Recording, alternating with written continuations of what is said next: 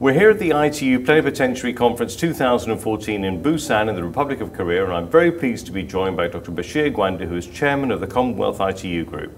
Dr. Gwandu, thank you very much for being with us today. Th thank you very much, and good morning to you, and thank you very much for the invitation. It's thank very you. nice to see you in the studio. Nice to see you once again. Yeah. I'd like to start off by talking about the Commonwealth ITU Group. Perhaps you could tell us a little bit about that. Um, and as chairman of it, what are the key takeaways uh, for you so far from the Plenipotentiary Conference? Thank you. Now, uh, the Commonwealth ITU group is a, uh, is a group of uh, 54 member uh, Commonwealth countries. You know, Commonwealth countries are not the those in the Russian side, but the English Commonwealth, that is 54 member countries. Uh, it was set up in 2002 to kind of provide coordination when it comes to ITU activities. Uh, hitherto, there was no such arrangement. Uh, we, had other, we have many other Commonwealth bodies, but none focus on getting Commonwealth countries to coordinate between themselves, come up with uh, positions that they can promote at their own positions towards any of the ITU conferences. Now, there are key advantages in doing that. I mean, we, we identified that the Commonwealth countries are unique in the arrangement in that we are present in four regions of the ITU. Uh, we have countries in two countries in Europe. We have 18 countries in Africa. We have the Pacific. We have uh, obviously South America. So all of these countries put together from the, uh, the, from the Commonwealth can actually promote any decision taken at the CIG to each of those regional organizations. So they provide a kind of platform to, if you like, harmonize decisions easier when it comes to ITU conferences. So we have that unique position and uh, the Commonwealth ITU group kind of provide that ability, like, I mean, it's similar to what you know as Africa Telecom Union that coordinates 54 member African countries. It's only that the Commonwealth is in different regions. So it, it has that advantage of having to influence different regional organizations. And what have been the key takeaways for you so far from this plenipotentiary conference? The key takeaway for me as uh, chairman of Commonwealth is that uh, I am able to pick out, I mean, there, there have been 106 or so uh, uh, policy statements made by different ministers during the conference. And each of those policy statements carries some I mean, I mean, information about a specific country, what they have been doing. So it's, it's a sharing uh, kind of opportunity that we can learn or we can pick certain things that are done well in some countries and then share them uh, uh, to our members. So we can, if you like, kind of form a good practice, compendium of good practice basically in the area. ITU celebrating its 150th anniversary uh, next year. What do you see as the key technological innovations of uh, today that, that has been associated with the work of ITU? Well, to be able to answer that question, I need to look at ITU, looking at the sectors. I mean, for the radio sector, obviously we have uh, satellite is a great innovation, radio, television, all these are great innovations that have changed lives. We look at broadband, uh, we look at big data, or rather Internet of Things. All these ride on spectrum or on mobile broadband. So these are key innovations with respect to radio sector. There's also, if you look at the standardization, we have different protocols that are put together to allow communication between different networks uh, and systems. That's another innovation that actually changed things. And so the internet, broadband internet in particular, the Internet of Things, the uh, uh, I mean I mean smart cities that are coming through are all going to rely on the work of ITU, and the key, key work of ITU, of course, like I said, the spectrum that provides for broadband and satellite. All these are key things that have changed the way we look at things. Some years, I mean, I feel like uh, 50 years or, or 60 years ago, people are relying on I mean, the TV and radio. Now we have the internet. There's so many, and, and also the, the, the handset. We have smart handsets that now you can use.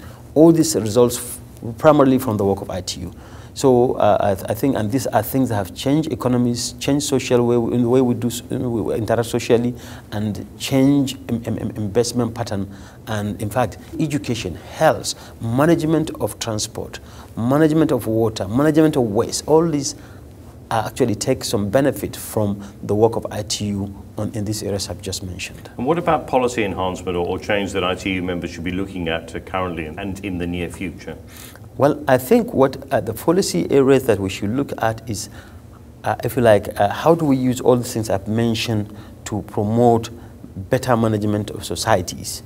we're going to have obviously mega cities in some places like I mean Nigeria, where I came from originally. How do we manage people? How do we manage? I mean, I mean energy. How do we manage waste? How much all these, of these things are policy areas that are, are obviously going to, if you like, in the future will be relevant. Uh, how do we promote broadband? Uh, networks, and, uh, and, not only broadband networks, but next generation networks.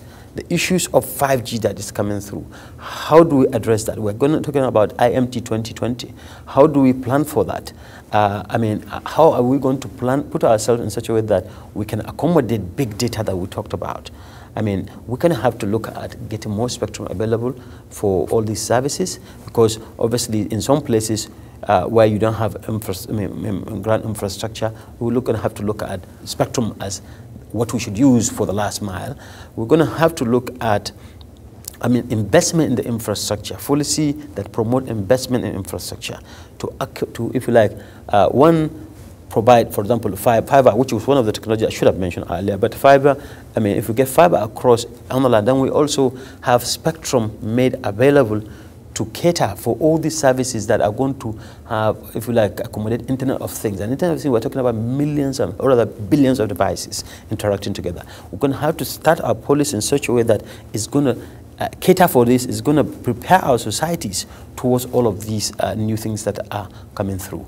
So the, so the policy is really, one, access, two, um, providing infrastructure, three, network, four, broadband, I mean, five, uh, oh, we can have, uh, uh, uh, if you like, I mean, I mean, management of critical infrastructure. All of these things are key. And of course, management of the, um, um, the internet, making it, I mean, providing, I mean, if you like, environment for it to continue to grow in the way it's been growing over the last decade. The uh, CIG has recently been a very active participant in the ITU activities.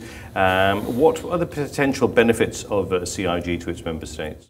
Uh, the benefit of MNCIG so far, I can, I can obviously think of many. I can mention a few. In the area of standardization, we have provided a lot of benefit to member states. I think we, uh, we, have, we are uniquely placed to bring benefits unlike other uh, uh, organs that are similar. Because one, for example, CIG was key in the, in, in the pursuit of the last spectrum allocation, that is 700 megahertz allocation. In 2007, I was obviously in the CIG, and we did 800 megahertz allocation, which was also key. We also pursued uh, satellite I mean, spectrum, if you like, making it easier for, for, for satellite uh, uh, coordination. CIG has provided I mean, key input into that. CIG has also worked on standardization aspect, the issue of environment, sustainable environment, the issue of even even I mean, I mean in charger, I mean, I mean, I mean uh, if you like having similar I mean, charger, the issue of involvement of academia, all of this really came from CIG. So we are well placed to help uh, uh, member states to actually promote uh, a particular interest they have in, I mean, in, when it comes to ITU. No other organization is well placed to do that as much as CIG. And we have been delivering on these areas and we will continue to, to, to, to, to work on that, to continue to bring people together to promote these kind of ideas. Very informative and comprehensive answers. Thank you very much indeed, Dr. Bashir. Th thank you. Thank you so much. Thank you very much. My pleasure. Thank you.